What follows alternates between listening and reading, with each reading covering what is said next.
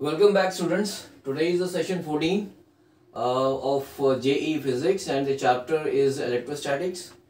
and I'm taking this session after the the Bauli festival. Uh, the question here uh, on the board is that in a free space uh, particle A of a charge of micro 1 microcoulomb is held uh, fixed at a point P. So यहाँ पर एक हम uh, ये point P है मेरा यहाँ पर एक चार्ज है एक पार्टिकल है ए जिसका चार्ज है वन माइक्रोकूलम ये this is position at this point P and another particle B of same charge and mass four milligram is kept distance of one m m from P अब ये एक एक और, एक और चार्ज है. सॉरी एक और पार्टिकल है जिसका चार्ज आपका है one microcoulomb and this is position at at a point which is one m m from this point B let us say this is this point is Q तो ये distance हो गई आपकी, ये जो डिस्टेंस है, ये आपकी वन एम एम है फ्रॉम पी टू क्यू ये आपका वन एम एम है. नौ इसका भी जो, ये जो पार्टिकल बी है, इसका भी चार्ज वन माइक्रो कूलम दिया हुआ है. Now if this particle B is released then its velocity at a distance of nine m m is we, this is what we have to find so यहाँ पर let us say let the distance uh, let this point let us consider a point r which is at a distance of 9 mm from this point p ठीक है तो हमें इस point r पर इस particle b का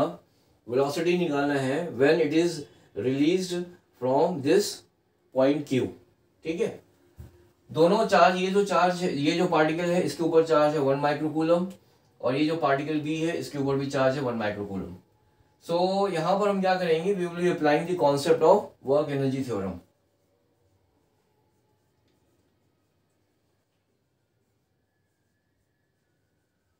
work energy theorem का जो है जो कॉन्सेप्ट है वो हम यहाँ पर अप्लाई करेंगे. तो वर्क एनर्जी थ्योरम क्या कहता है कि that is the change in the kinetic energy is equal to the net work done by the external forces.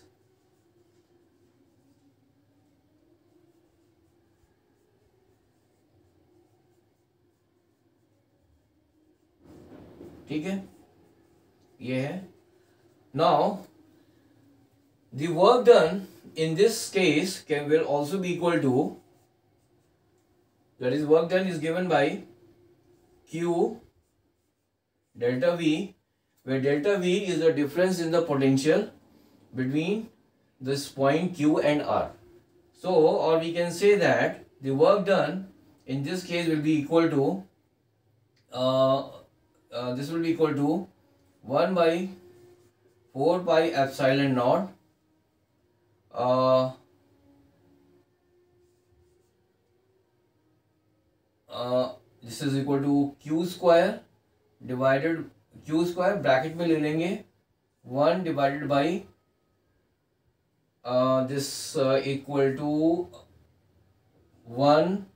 sorry ten to the power minus three minus one divided by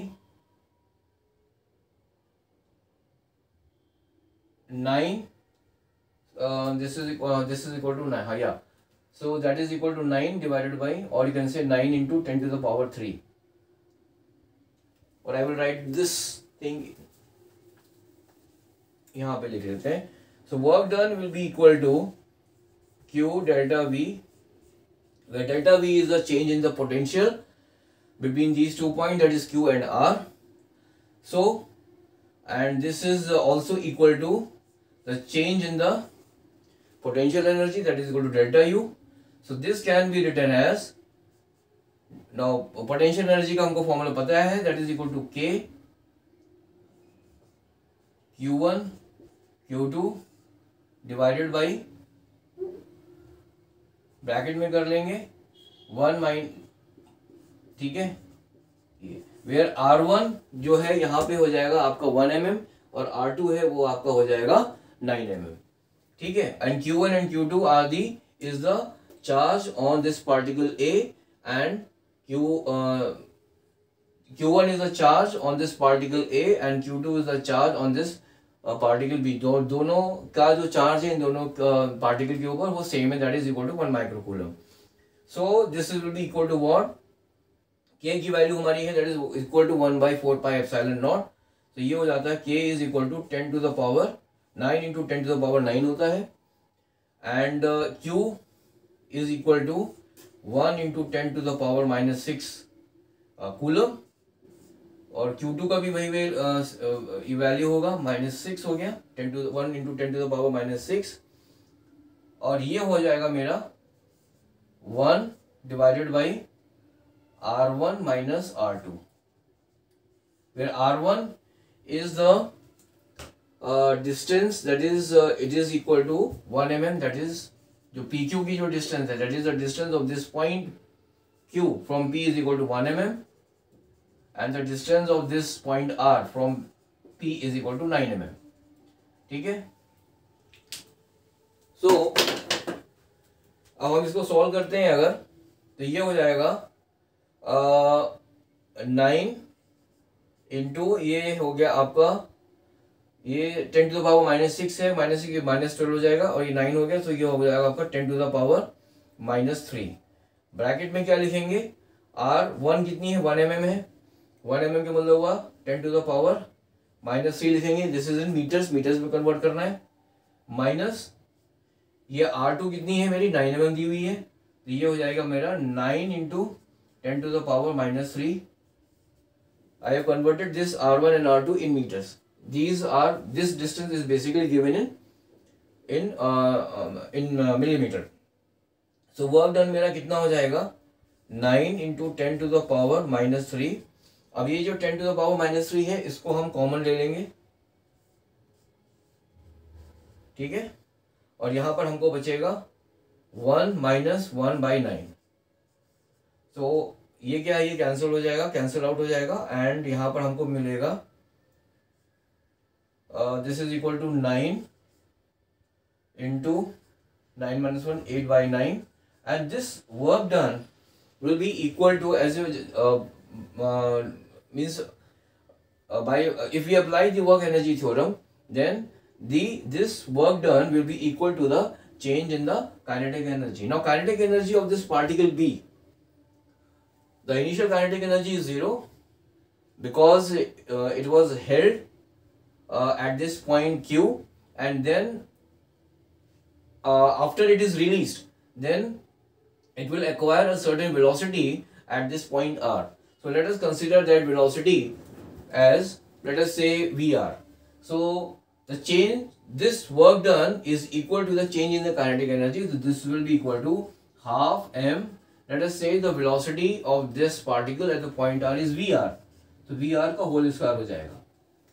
Because initial जो kinetic energy वो zero है. So on final kinetic energy क्या हुआ? Half m v r whole square. Initial कितनी है? Zero है तो half m v r whole square minus zero हो जाएगा तो ये आपको मिल जाएगा ठीक है सो so, फाइनली हमको मिलता है यहाँ से अगर हम रिलेशन लेते हैं तो ये हम, ये ये आपका नाइन एंड नाइन कैंसिल हो जाएगा it is equal to one by two into mass now mass is given is four milligram तो मिलीग्राम को अगर हम केजी में कन्वर्ट करेंगे तो ये हो जाएगा आपका हाँ this will equal to ten to the power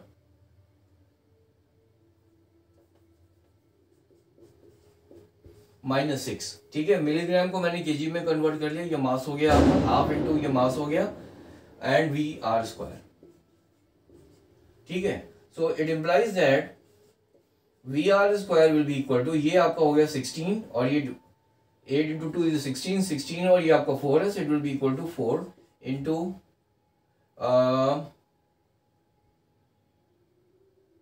ten to the power six which is equal to, so or we can say that, we can say that that vr that is the velocity of this particle B at this point R which is uh, at a distance of 9 mm from the point P will be equal to under root of 4 into 10 to the power 6 meter per second or we will the answer will be equal to 2 into 10 to the power 3 meter per second. Okay. So the velocity of uh, this particle B